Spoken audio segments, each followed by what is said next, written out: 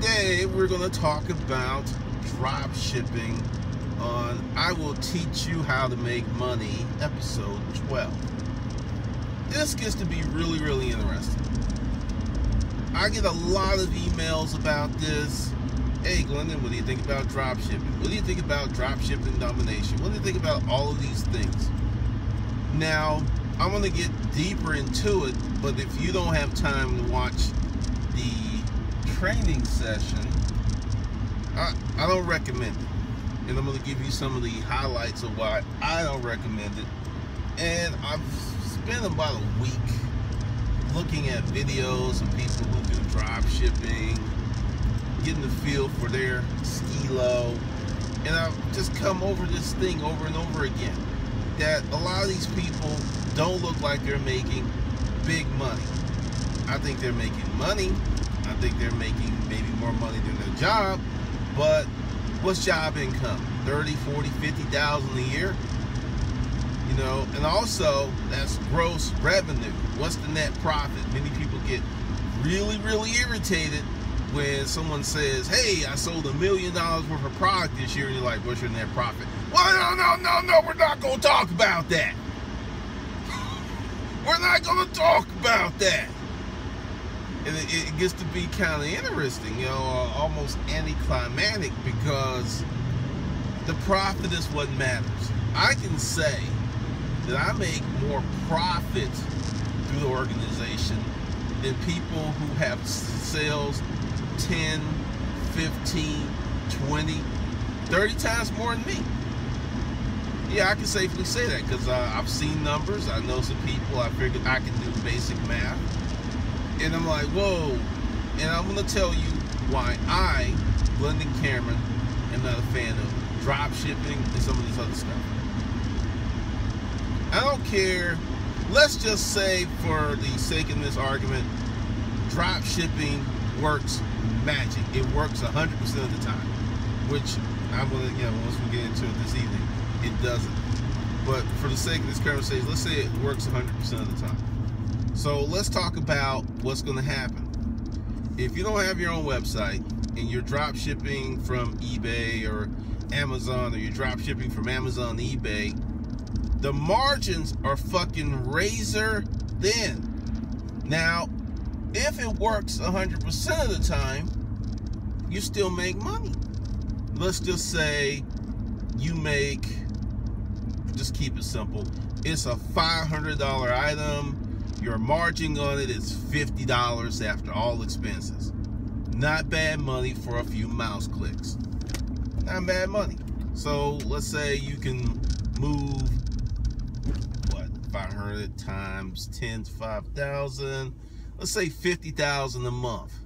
So for every 10 grand you sell, that's 500 bucks. So that's $2,500. Yeah. Yeah, 2,500 bucks for you for the month for a few mouse clicks. Not bad money. Now, how do you scale this? How do you scale it? Because see, this is the thing. You're not selling your own product, so you cannot ever become a brand. You're not selling your own product. You can't control production runs. You're not selling your own product. If the manufacturer says, hey, you know, that product that you were killing it with, we're no longer going to sell that, you're screwed. So the lack of even that's that's if it works a hundred percent of the time. That's if it's kicking, banging, you know, hitting all 12 cylinders, it still turns into a shitty proposition because this is what happens. I have drop shipped before, and I've done a lot of different types of drop shipping. I'll give you the one that worked first. I was selling this furniture and they let me do, you know, what's called private label, which essentially is furniture company will sell some stuff for you and they won't put their name on it and you can put whatever you want. You can either put your label on it or you can put no label and it comes in unmarked boxes. And they were local. And I knew the owner. And I could go in there and touch it. and I would go in the warehouse and see and ask him like what sells, what doesn't sell, and anything that was a hot seller, I would not fuck with. I sold the bullshit. I sold the things that were hard to sell. Why? Because they were always in stock. I didn't have to worry about running out. And uh, dude made me a solid deal. And that's how it, that's why it worked because I wasn't selling the hot stuff that ran out. I got paid cash or a check. You know, back then it was a check. Go to the bank, cash the check, go to him, pick up the furniture, and it was boom, boom, boom. And it, it was lovely. Then he decided to shut up shop, retire. Someone else bought the business. And they said, no, we're not going to do that for you, man. If you want to do that, uh, you need to pay this. Damn near doubled my cost, doubled my exposure. I was like, hey, you know, your business, your way, but I'm out. And that was the best one that worked. Uh, I will tell you another one. Actually, there's another one working. This was with my physical books. I use CreateSpace as a drop shipper.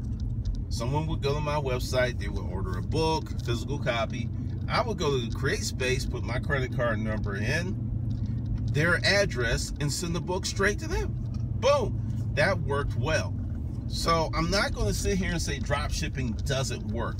What I'm going to say is you've got to have the right partners for it to consistently work long term. And there's a lot of stuff out there there's a lot of games out there. And then in the show, I'm going to give you a real killer reason why not to drop ship that can put your whole business profile in serious jeopardy. I'm talking about everything that you do, serious jeopardy. All right. So I will teach you to make money, episode 12, 3:30 p.m. today.